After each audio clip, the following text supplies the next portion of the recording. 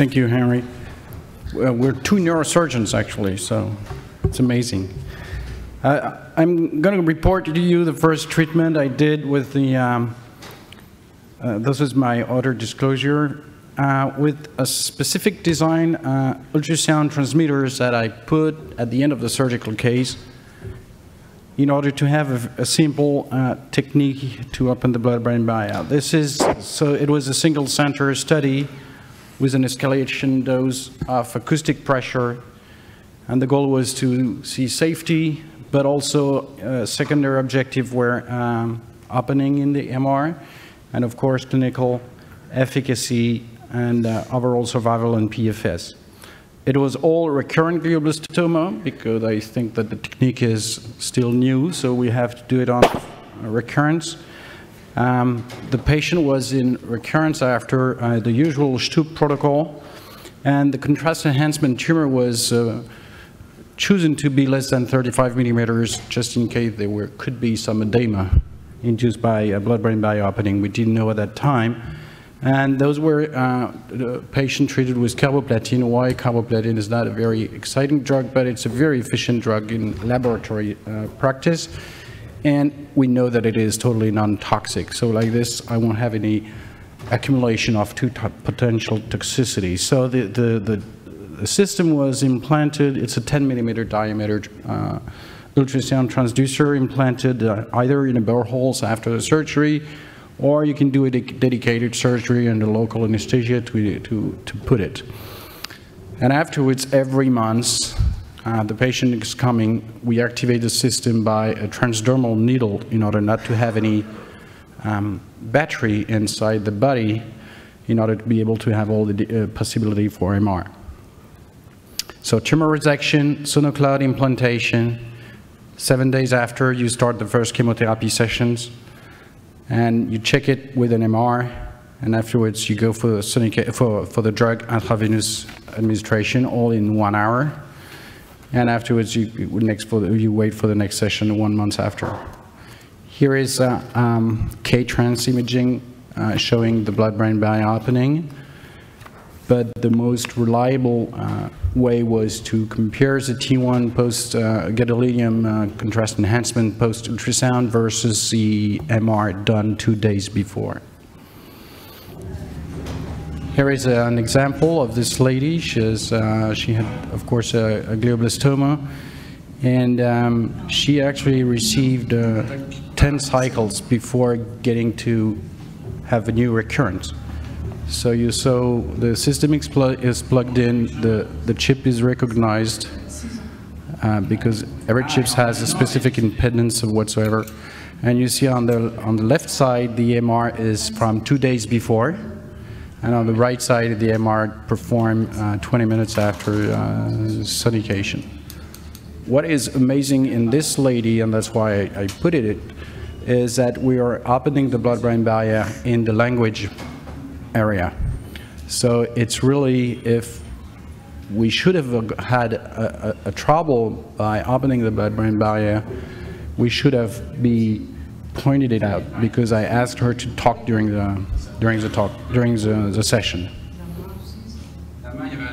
And you see that ultrasound are on and she's talking perfectly. And this is a different session, so there is no attenuation over time. This is after 10 sonication. You see this T2 star imaging showing no, not at all any bleeding. And um, she had a total removal of the T1 contrast enhancement. So we were following her on FLAIR sequence, and you see that over time there is a, a reduction of the FLAIR sequence. Could be due to ultrasound, it could be also due to the, uh, to the carboplatin, of course. Another case that was a fast-growing tumor because we included at 35 millimeters, and when we treated him, 15 days after it was 45 millimeters, so it was pretty scary. And um, this guy actually had 10 sessions because you see that inside the transducer field, the acoustic field, the tumor was not growing, but outside it was growing. Main uh, secondary effect was, was um, transient dexterity deficits for these patients, you see with a big lesion and an, an edema at day 15, which can be correlated to the tumor anyway, but still. Um, Progression-free survival showed uh, an increase and also a statistically significant increase and overall survival also. Um, On the, um, the blue line is the patient for whom the blood-brain barrier was sufficiently enough opened. And you see there is some recurrence distant to the acoustic field. Here you see on the frontal lobe, there is some recurrence of the FLAIR signal distant to the acoustic field, but not near the acoustic field, so that uh, we decided to implant three devices.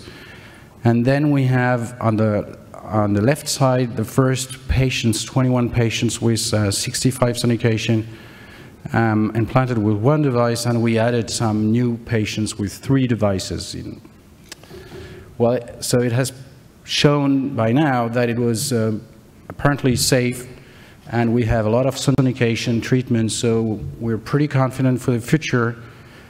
The key question is how big should be the uh, blood-brain barrier opening? Apparently, the bigger the better. So for the future, we are uh, now um, making a, uh, an extension of the volume of sonication. Thank you.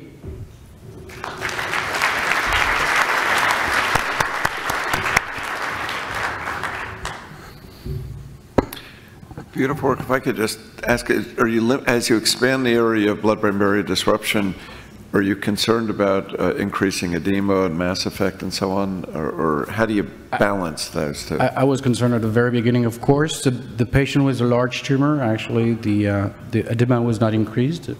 Uh, it decreases. And uh, so I'm not scared about this anymore, but it could be, maybe, but I'm, I'm confident now.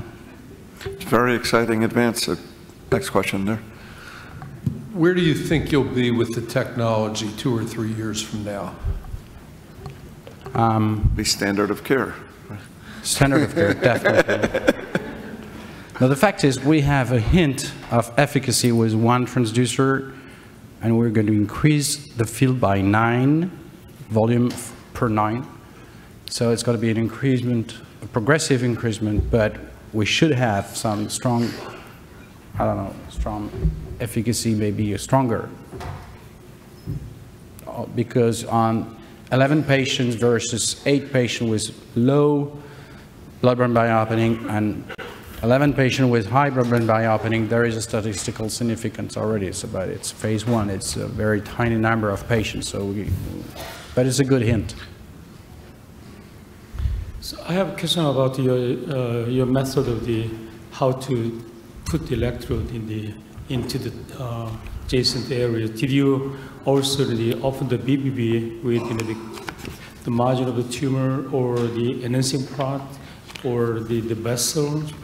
How did you, the, choose the place? Yes, yeah. Uh, by now, I was selecting the most eloquent place next to the tumor mm -hmm. or inside the tumor if I cannot do any tumor removal. Uh, in the future, it was gonna, it's going to cover all the whole tumor bed and two centimeters around.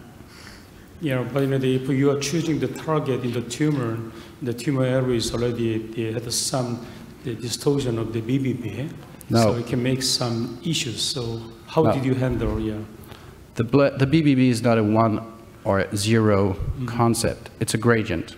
So on a tumor, you have a blood tumor barrier, mm -hmm. and nobody knows exactly what is yeah. the concentration. Mm -hmm. It's not because you have contrast enhancement that you have a blood-brain barrier sufficiently enough open to get drugs in it. Uh, gadolinium is only one kilodalton. If you take carboplatin, which is a very small drug, it's five kilodaltons. And so if you want to put some antibodies or whatsoever, it's 100 kilodaltons or more. So it's not because you see on MR a contrast-enhancing tumor that you have you, that you don't have blood-brain barrier. You didn't experience any bleeding during, during your procedures? What? Any bleeding? Breathing? Hemorrhage? Bleeding. Bleeding. Bleeding, not at all. No? Not at all. Okay. Thank you. Thank you. Thank you very much.